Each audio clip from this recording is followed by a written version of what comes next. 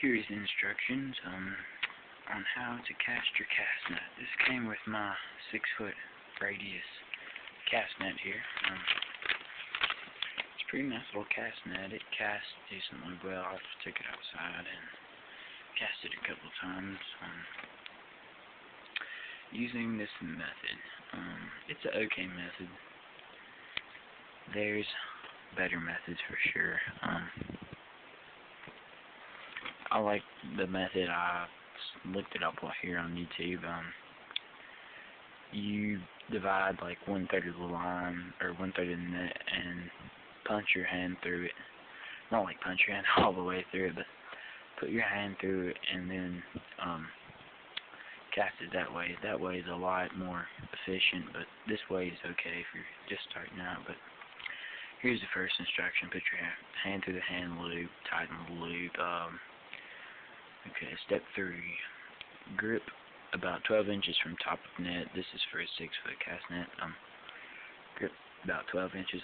If you want it to um, cast easier, grip a like maybe 16 inches instead of 12.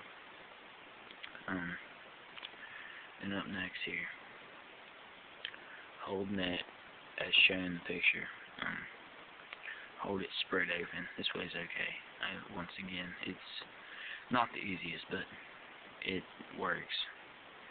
Then next, turn your body slightly to the right without stopping. Pivot your left hand. Release the net in front of you. Best results, throw slightly upward angle. If you're left-handed, use your left hand instead of right hand and continue to follow instructions using the left hand.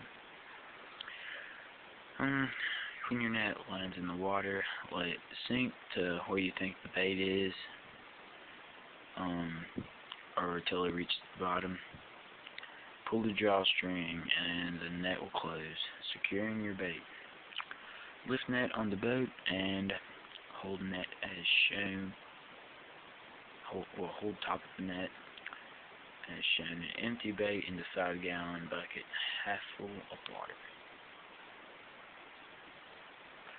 Um, always hang your net after use. Don't leave it in direct sunlight. Leave weight line around latch of top net, allowing net weights to straighten net. Inspect net before you use. Use monofilament to repair any cuts or tears. And that's pretty much it with your net maintenance and uh, casting instruction. For that other um, way to cast. I'll put a link up for it. It's it's a whole lot better than this. I mean, this is okay, but the other way is better. Um, yep. So, and now I will um, progress to the review of this six foot Castnet by forgot the company name. Here it is, um Marine Metal Products.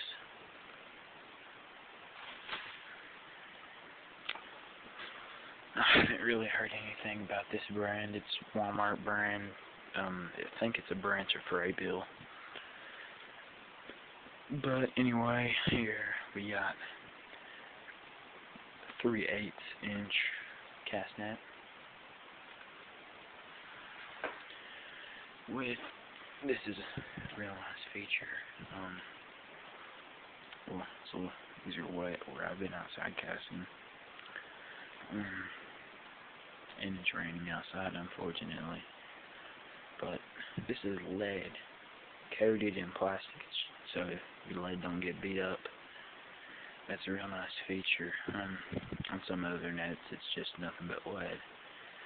But this has um, one pound of lead for each radius foot, which would make this a six pound cast net.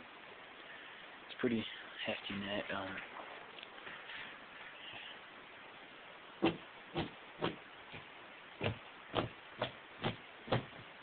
if you can see that, but it, makes a good thud when it hits the floor. But basically, how a cast net works, you cast it when you think you got your bait. Um, you pull here on this black cord here in the floor, and it closes here at the bottom. Um, closes up your bait, and then you drag your bait up onto the shore.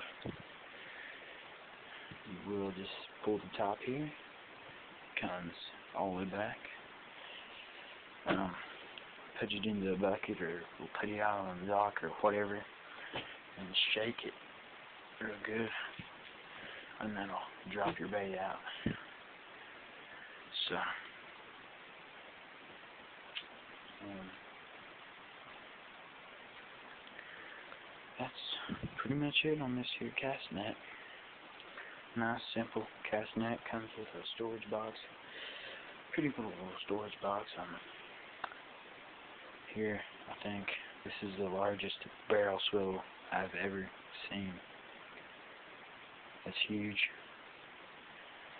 Um, but I think that it. That's it. But by the way, we are.